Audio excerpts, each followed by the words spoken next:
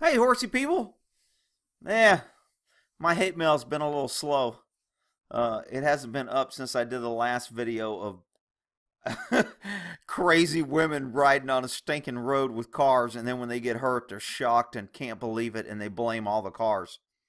So, unfortunately, they took the video down, so I can't give you the video. But I got a couple still shots here. Look at the pretty pink. Wow, look at all that pink. Was that a rider? Oh, that is a rider. I thought that was like some pink thing flying off. There's a pink vest, and then there's a pink rider flying off. Horse is scared, head held high. Horse panics. Rider thinking I have the right of way. I'm, i know all the English people. I the law in in over here says we can ride on the road and we have the right of way and okay. So you put your horse in danger and yourself in danger and you're right. I mean, you, you can't tell idiots are stupid they're right.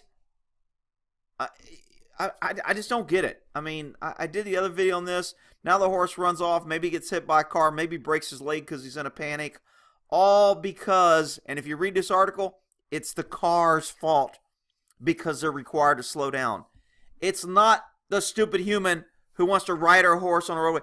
Well, Rick, there's nowhere else to ride. Then you don't ride on a highway. If the only place I can ride is down the side of a cliff, I don't ride down the side of a cliff.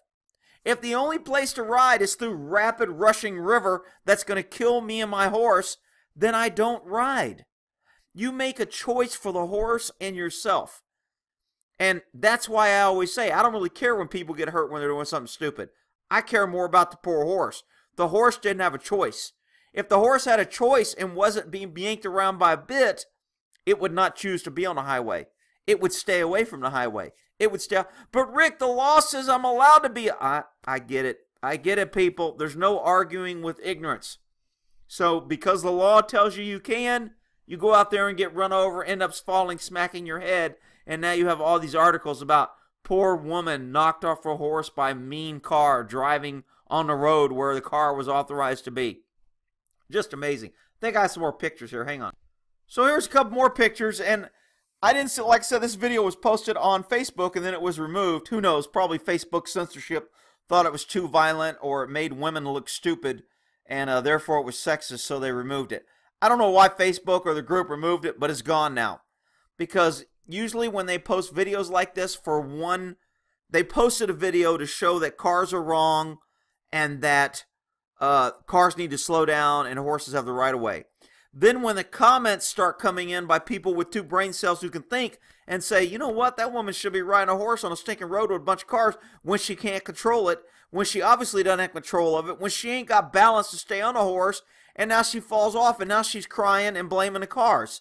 So when it didn't, when they didn't get the comments and support to fit their agenda, they cried and removed the video. Or Facebook removed it. I don't know. But it's gone. And now we have a poor horse with no rider, but Ricky has pink things on his feet, and and that means he's protected and safe. I always say, for some reason in the horse world, pink and stupid go together. Rick, it's just a color. Why you always picking? I ain't picking on pink, you idiots. You just can't figure out what I'm picking on. I'm picking on no common sense and stupid. And you want to make it about pink. Oh, look, here's another picture. Look, there's a motorcycle on the road. That looks like a motorcycle wheel and there's a woman in the road. And she says, Well, I have the right of way. The law says I can ride the way I want. And the guy on a bike goes, Well, this is a roadway and I got a driver's license, and the government tells me I have a driver's license and I'm driving where I want. Well, who's wrong and who's right? My guess is who's wrong is the person that ends up looking like this. Okay, here's how I tell who's wrong. Okay? Rick, she's not wrong. She's within a law. Okay? Look, She's making a pink stain on the highway. Now everybody's going to be driving by and there's going to be pink on the highway. And uh, the poor horse is running home by himself with his pretty little pink halter all by himself, all alone. You know, some butterfly is going to probably try and steal him or a bee's going to sting him trying to feed off his pink halter. And then it'll be the bee's fault. Oh, look at the pretty horse. It's white and it reminds me of Snow White and when I saw the movie Flicka and Black Beauty and all the other horse movies, white horses are just so nice. I'll buy a white horse. I don't know why they called this horse Lightning Backbreaker but I didn't like the name, so I call him Fluffy now. So there goes Fluffy running home. All right, you people pretty much know where I stand on this. I mean, horses on the roadway, if you can't ride, if you can't control, if you don't have a horse that's sacked out properly, if you end up on the ground and your horse is running away without you, we call that a clue. Okay?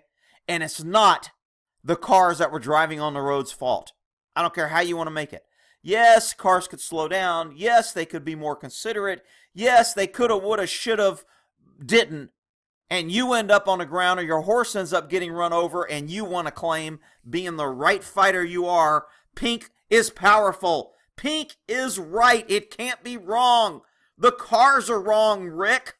I'm falling on my head on a highway. It's not my fault. My horse is running off in danger. It's not my fault. I'm within the law and the cars are wrong. Jesus Christ. Common sense is a damn superpower. All right, we'll end that there. Buddy Mr. T, you're good boys.